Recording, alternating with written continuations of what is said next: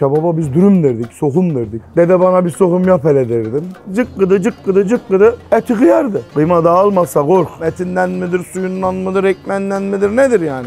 Bu işin orijinali tabladır. Koyundan çıktı buraya geldi dolaba girmedi doğradım verdim. Hepsi bu. Ya ciğer Urfa'nın mı, Edirne'nin mi, Diyarbakır'ın mı, nerenin, Adana'nın mı? Kebabın bir özelliği var. Kebap sade. Kendi salatası olur, hepsi budur. Dönder dönder dönder. Suyu aksın. Suyu aksın suyu. Yok timsah demişler, yok gazbaşı demişler, yok ördek başı demişler. Daha ne başı çıkacak bilmiyorum. Başka bir hayvan kaldı mı? Timsah çıktı. Kebap yemek ayrı bir aşk. Mutlu olur. Kebabı yiyen o gün mutlu olur ben söyleyeyim. Kim mutsuzsa Adana'ya gelsin. Biz onu mutlu göndeririz. Adana kebap. Yemesi sevap. Buyurun.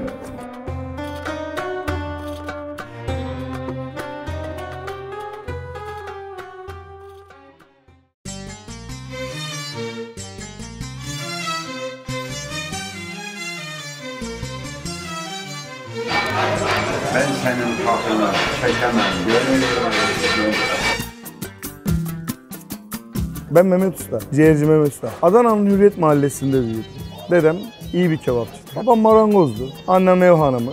İlkokula gittiğimde kebap yemek için dedemin yanına giderdim. Yani ilkokul 1'de 2'deyken. Kebaba biz dürüm derdik, sokum derdik. Dede bana bir sokum yap hele derdim. Aslında kebap Adana'da o dönemde her evin önünde bir mangal var. Herkes kendi yapar kebabını. İyi yapan meslek edindi onu. Dedem böyle ufak bir tezgahı vardı. Küçük bir taburesi vardı. Otururdu. Et temizlerdi. Elindekini ufak böyle kasap bıçağı derdik ona. Satır da değil. Kasap bıçağı derdik. Eti temizlerdi. İki tane bıçağı eline alırdı kasap bıçağını. Cıkkıdı cıkkıdı cıkkıdı cıkkıdı cıkkıdı. Eti kıyardı. Sonra tuzunu atardı. Hafif tatlı toz biberini atardı. Saplardı. Orada böyle ateşte buluştururdu. Çektiği zaman o et bulgur gibi dağılırdı. Derdi dedem. Oğlum kıyma dağılmazsa kork. İçine bir şey koymaz adam. Bir katkı maddesi yoktu. Kebap yaparken adam mutlu olurdu. Severdi.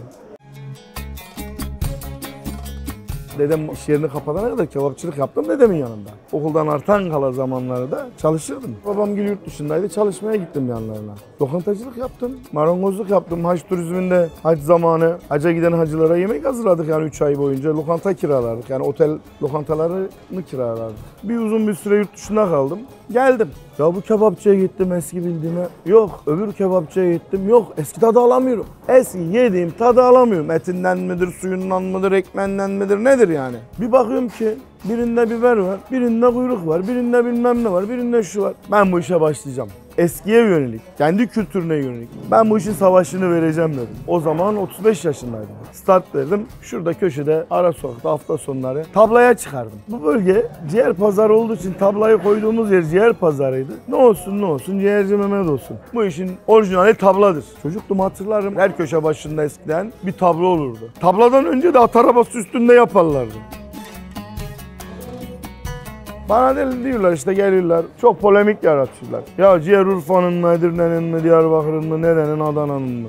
Ciğer bu bölgede diyeyim yani Mezopotamya, Orta Doğu bölgesinde sabah kahvaltı kültürüdür. Urfa'da küçük doğranmıştır. Diyarbakır'da iri, Edirne'de tavada, işte Lübnan'da, Sacda, Mangal'da Şimdi her bölgenin kendine has bir sunumu vardır. Bizde de sadedir. Bu bölgenin insanı sade yapar. İçine acı biberini atar, tuzunu atar, isotunu atar. Kimyonunu atar olmazsa olmazı. Bu taze kuzu ciğerimiz. Ben öyle önce şu kaba pisliklerini alıyorum.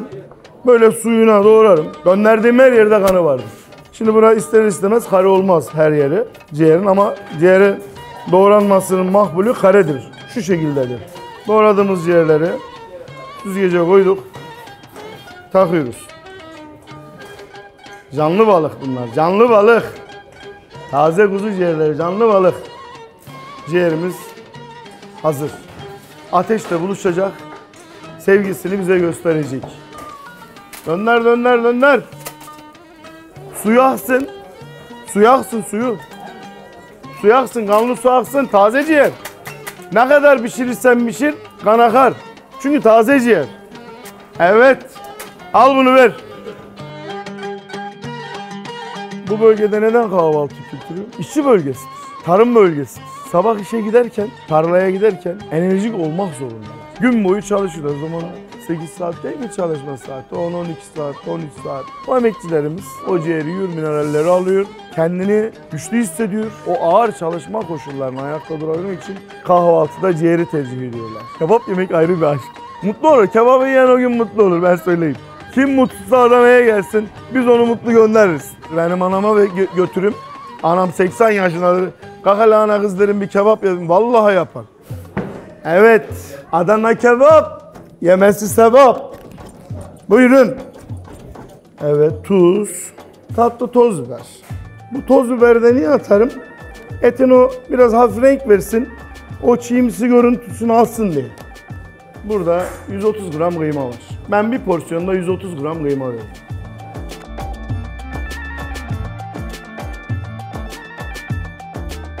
Kapya biberi diyorlar. Nedir bu kapya biberi? Bizim zamanımızda salçalık biberdi. O da Ağustos ayında, Ağustos'un sonunda, Eylül'ün sonuna kadar yetişen bir biberdi. Kırmızıydı. O dönemde o biber sadece salça yapılırdı. Ya Allah aşkına soruyorum 25-30 sene önce. Kışın bu biber var mıydı ya? Ne kuyruk ya, ne kapya biberi, ne makinede. Herhangi bir hiçbir şey koymam içerisine. Doğrusu Et kendi yağıyla kaburgadan yapılır. İçine hiçbir şey koyulmaz. Elde kıyılır, makinede kıyılmaz. Kendi yağıyla pişer. Böyle çatala gelmez. Zaten eskiden çatal mı vardı ya? Derler bize işte. Et, balık, kelle. Bunlar yenir elle. Pat alırdık elimize eti koyduk. Üstüne soğanı sarardık verirdik. Bu hala bir de şey olacak. Adana kebabı acı olacak.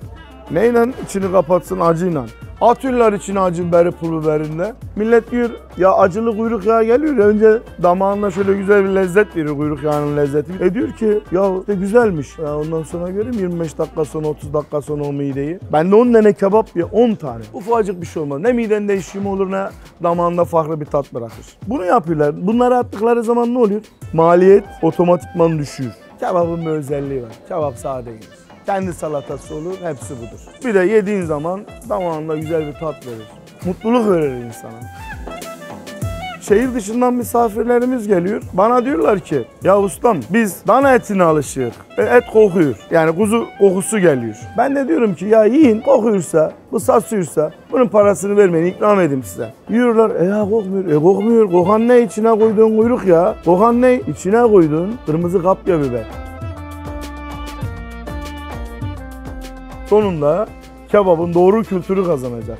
İnsanlara unutturulan o damak lezzeti, vazgeçtirilen o damak lezzeti kendini bulacak. Derler ya havada kalmaz avazım, doğru mutlak bulacak kendine bir yer. O kültürü yaşatacağız. Mutlaka Adana kebabının gerçek kültürünü, gerçek lezzetini tüm Türkiye halklarına ulaştıracağız. Kebabı ben yaptığım zaman diyelim geldin hoş geldin baş götür. Eyvallah yaptım koydum. Böyle ettiğin zaman yüzünde böyle bir mutluluk olduğu zaman güzel böyle şeyler hissettiğin zaman ben o zaman daha da yumuşuyorum. Daha da mutlu oluyorum. Yedin gittin suratın bir tuhaf oldu. Allah Allah diyorum. Ne yaptım? Nerede hata yaptım? Niye böyle oldu diye. O şeyi görebiliyorsam, cesareti kendimde görebiliyorsam geliyorum soruyorum. Ya hayırdır ne oldu falan diyebiliyorum. O zaman mutsuz oluyorum beğenmediği zaman. Bu işe emek vermek lazım. Benim yaptığım işte emek var. İnsan emeğiyle daha fazla çalışmak lazım. İnsanlara doğru hizmet verdiğin zaman önüne koyacaksın doğruyu. Yürüyeceksin. Varsın zaferin küçük olsun. Diyeceksin ki onu ben yarattım. Hepsi bu. Biz neydi o zaman? Kebap türlerimiz. Adana kıyması, tike, yağlı kara. Yağlı karaya da kaburga derdik. Yani etin kendi yağından. Tikeye de böyle yağsız olan tarafını doğrarlardı, takarlardı. Bir de el kıyması yaparlardı. Sabah da ciğeri olurdu. Hepsi buydu. Yok timsah demişler, yok gazbaşı demişler, yok işte ördek başı demişler. Daha ne başı çıkacak bilmiyorum. Başka bir hayvan kaldı mı? Timsah çıktı. Onu anlamadım ben ya. E yakında yılan da derler, bilmem ne de. Ne bileyim vallahi. ne çıkacağını şaşırdım kaldım. Plastik eldivenle mi hijyeni sağlayacağım? ben? Ya Allah için olur mu ya? Ya şimdi ben bu sıcak şişi mangalda bu plastikten nasıl tutacağım? Plastiğin içindeki kimyasal mı zararlı? Benim elim mi ya? Bu mu hijyen? Yok kardeşim ya. İnsan teni kadar yıkadıktan sonra temiz bir şey yoktur ya. Elbette bu ekmeğe yağlarken yağ olacak, kebabı saplarken et olacak. Önemli olan bunu sen sürekli temizlemen. Plastikte ne hijyen var ya? Kimyasal dolu içi ya. Neyle yapı? Petrol ürünü değil mi arkadaşlar ya? Ben buna karşıyım bir kere. Bak şimdi tansiyonum yükseldi. Yani bir türkü vardır. Söyleyeni belli değil. Anonim derler ona. Bu da öyle bir şey ya. Kebap kültürü. İşte bunun içerisinde ciğeri, şuyu buyu var. Bu eski dünya dediğimiz, Mezopotamya dediğimiz eski dünyanın bir yemek kültürüdür. Dedemin babasından öğrendi, dedemin babasının babasından öğrendi. Erozyona uğratmadan, insanların sağlığını bozmadan, yaptığın ürünün kimyasını bozmadan doğru şeyler sunmak lazım. En büyük zorluğu esnaf olduğumda gördüm. Böyle şey mi olur, böyle kebap mı olur, böyle ciğer mi olur diye karşılaşıyorduk. Niye? Lezzet unutturulmuş. Geçmişi geleceğe taşımak bir makas var, uçurum var. Onun zorluklarıyla karşı karşıyayız. Ama şimdi o doğru yolda gide gide geldim. Bir noktaya geldim. Bu noktayı daha da ileriye taşımam lazım. Adanalılar böyle işte kaba saba tanırlar. Vurdular, kırdılar, astılar, kestiler. Yok efendim ya. Adanalıların yüreğinde sevgi var ya. Adanalılar paylaşmayı seven insanlar. Adanalılar sevgiyi seven insanlar. Sevgiden mutlu olmasını bilen insanlar. Adanalılar şefkatlidir. Adanalılar herkesi kucaklamak ister. Haksızlığı sevmez. Her zaman haklının ve doğrunun yanındadır. Adanalılar budur. Alın terim var. Bu alın terim böyle havlumdan alıyorum. Omzuma atıyorum. Gelirler bak hele o havlunu var ya Mehmet Usta o işte diyorlar. Yaz kış havlumu eksiltmem buradan. Avlusuz çıxmam sahnəyə.